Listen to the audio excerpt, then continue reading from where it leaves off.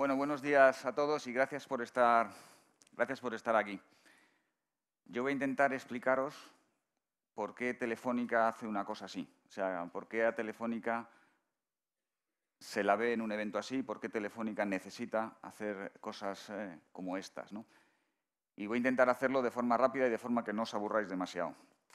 Primero, lo que estamos viviendo ahora, lo que se está viviendo en la actualidad, lo que se llama la revolución tecnológica o la revolución digital, no tiene precedentes en la historia del ser humano. Nunca antes una generación de seres humanos han vivido un impacto tecnológico como el que estamos viviendo ahora.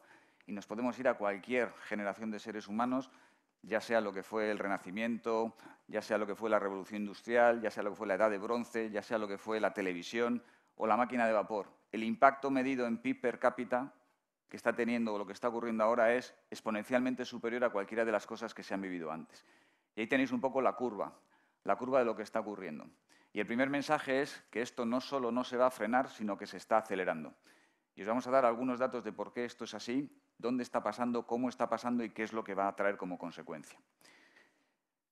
Como os decía, esta explosión de tecnología está haciendo que se acelere todo. Si nos parecía impresionante o, impactante lo que era la conexión a través del teléfono fijo, si nos parecía impactante lo que fue la revolución del ordenador personal, tanto el teléfono móvil, el smartphone como el tablet está rompiendo todos los paradigmas. No hay nada, nada que se le parezca y las cosas que están ocurriendo a raíz de esas plataformas está haciendo que cualquier otra curva de las que hayamos visto se quede corta. Luego veremos algunos ejemplos de eso. Y por lo tanto, lo que tenemos que ser conscientes es que no hay sector o actividad del ser humano que no vaya a ser afectada, cambiada, alterada, modificada por lo que está ocurriendo. ¿Y esto qué significa? ¿Cuánto tiempo tardaron algunas tecnologías en alcanzar 50 millones de usuarios? Pues al teléfono fijo le costó 75 años. Ahí tenéis ejemplos de redes sociales, ejemplos del ordenador personal, pero quizás lo más impactante es que ya hay aplicaciones, aplicaciones online, que tardan 35 días en alcanzar 50 millones de usuarios. Y eso lo que significa es que cualquier persona desde cualquier lugar del mundo, amparada en la tecnología, con plataformas de tecnología, puede tener un impacto masivo sobre millones de personas. No hay fronteras. No hay fronteras. No hay fronteras significa que desde un lugar del mundo tú puedes innovar en el otro lugar del mundo precisamente por lo que está ocurriendo con la explosión de la conectividad. Y esto está amparado en lo que está ocurriendo con la fibra, lo que está ocurriendo con el LTE, y como la quinta generación del móvil que ya llega reventará todos los récords de velocidad, esto solo os va a acelerar. Y esto también lo que significa es que el número de dispositivos se multiplica con cada tecnología. Tenéis impactos de cuántos dispositivos llevamos cada uno de nosotros encima, cuántos dispositivos accedemos, ya sea en casa o cuando nos desplazamos, pero dentro de nada esto se quedará obsoleto. La ropa, las gafas, los coches, las neveras, los contadores de gas, agua, electricidad, todo va a estar conectado a Internet. Y por tanto, la, la posibilidad de hacer más cosas con muchísimas más cosas se va a multiplicar. Y esto lo que significa también es que no hay empresa que tenga su futuro garantizado. Cualquier chaval como vosotros, desde cualquier esquina del mundo, con la tecnología a su mano y habiendo nacido con las capacidades digitales, puede alterar un modelo de negocio.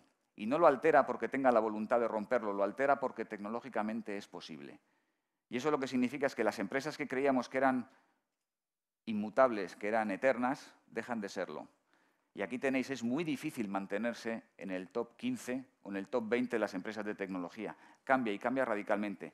Y ahí hay otro mensaje. Las reglas de este juego todavía no se han escrito, esto acaba de empezar.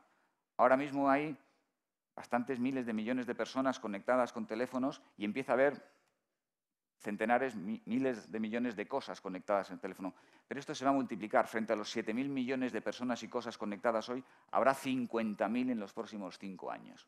Y por lo tanto, algunas de estas empresas que hoy creemos que son ganadoras pueden no serlo, porque o dependen de un solo producto o dependen de sistemas operativos que tienen entornos cerrados y que yo creo que se tendrán que abrir y se tendrán que interoperar entre ellos, las reglas todavía no se han escrito.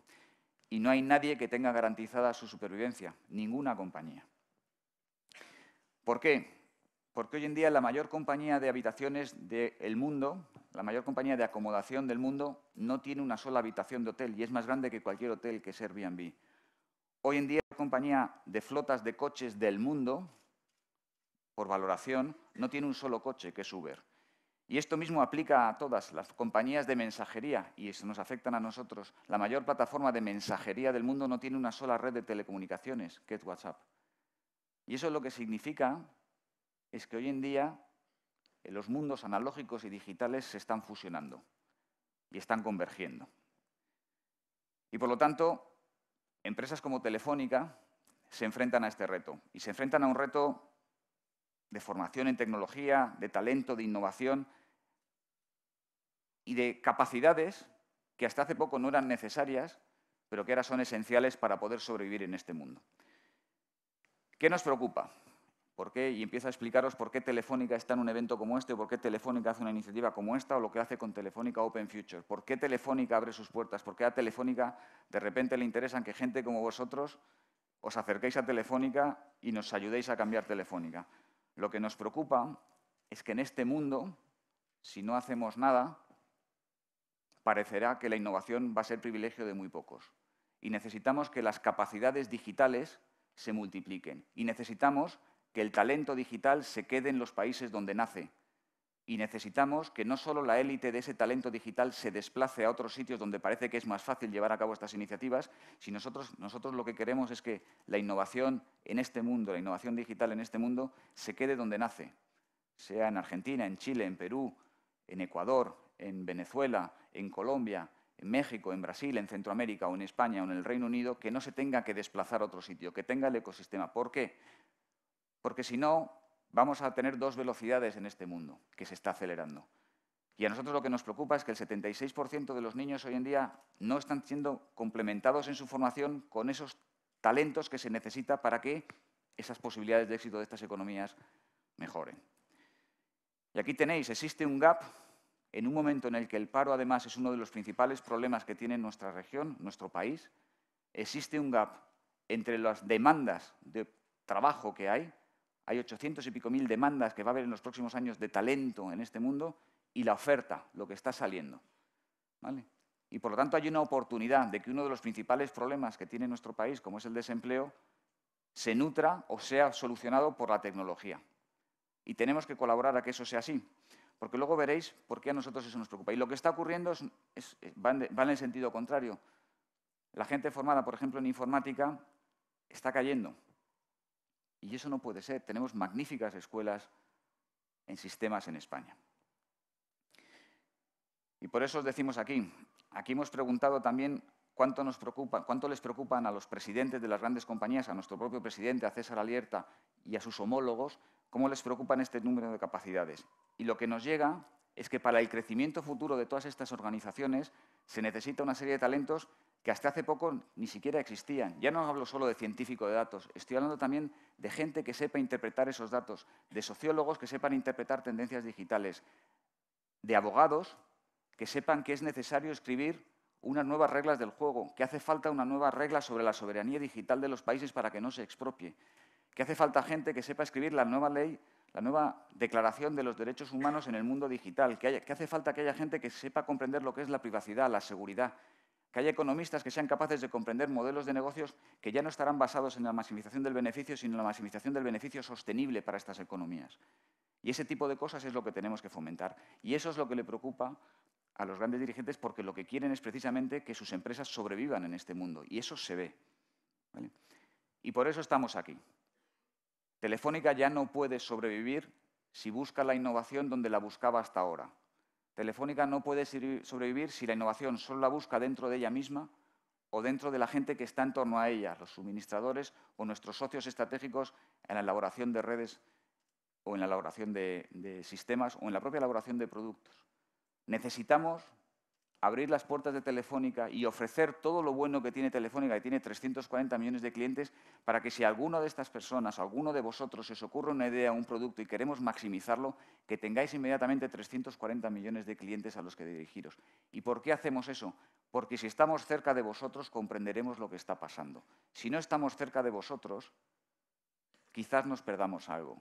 A lo mejor si las cadenas hoteleras hubieran estado más cerca de, Airbnb, hubieran comprendido lo que estaba pasando. A lo mejor nosotros tendríamos que haber hecho algo más con las plataformas de mensajería. Y por eso no queremos que toda esta ola, que toda esta revolución digital pase por delante de nosotros sin que la aprovechemos y al mismo tiempo creemos que tenemos muchas cosas que ofrecer. Muchas cosas que ofrecer porque Telefónica es una compañía increíble, que tiene activos increíbles, que tiene personas increíbles y que os pueden potenciar y que pueden hacer que vuestras ideas o vuestros proyectos se aceleren mucho más.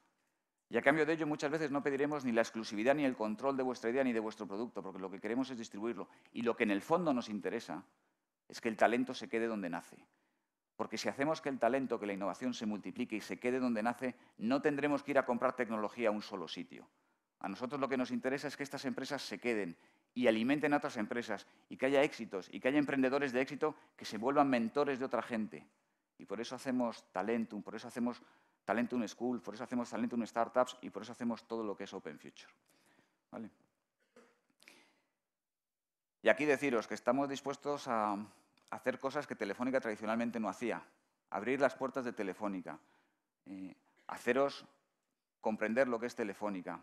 Estamos integrando los sistemas de Telefónica para crear una única plataforma, una gran base de datos. Los estamos protegiendo, estamos desarrollando capacidades en seguridad y en privacidad para garantizar que estas nuevas reglas garantizan, desde luego, que sea el individuo, que sea el ciudadano, que sea la empresa la que decida qué parte de su privacidad quiere vender a cambio de servicio. Estamos abriendo las puertas, vamos a integrar todo eso y estamos incluso peleando para que los sistemas operativos sean interoperables, para que los sistemas operativos se hablen entre ellos, para que no tengáis que desarrollar en tres o cuatro sistemas operativos, sino que se pueda subir en uno, para que no haya nadie que tenga la llave de acceso a Internet, para que no haya nadie a quien haya que pedirle permiso para subir una aplicación a Internet. Queremos abrir nuevas puertas de acceso a Internet. Queremos que la red sea verdaderamente neutral. Y para eso os necesitamos, os necesitamos muy cerca de Telefónica. Así que sin vosotros, la Telefónica de dentro de cinco años no es posible. Por eso hacemos lo que hacemos, por eso os tenemos aquí, por eso nos arriesgamos a mezclar gente como yo de corbata con gente como vosotros que probablemente no os pondréis una corbata en vuestra vida. ¿eh? Y por eso sabemos que si hoy estamos cerca de vosotros y de los niños, que probablemente ya no se sacarán nunca el carnet de conducir, porque conducirán coches sin conductor, ¿eh? necesitamos comprender esa realidad.